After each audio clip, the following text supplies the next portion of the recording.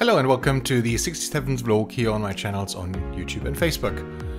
Again, one of the shorter videos, my apologies. In addition to my normal work that frequently brings me to Bonn, hence the, uh, the gorgeous view of the Rhine River, I do have a conference to organize and also two more exams to sit, so I've been really really busy and spending most of my time in front of a computer screen. Not very exciting. Also, we've been creating a video for Theo, and this weekend we spent most of our time recording the audio. An absolute highlight last week was a meetup by Inovex on Scrum.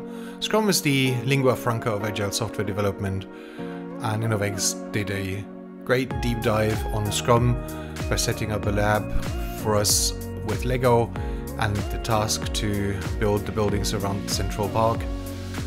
It was wonderful meetup. Thanks a lot to Inovex.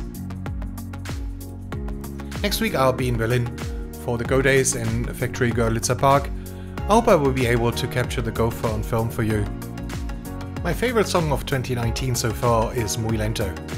Definitely give it a listen and see you in the next one.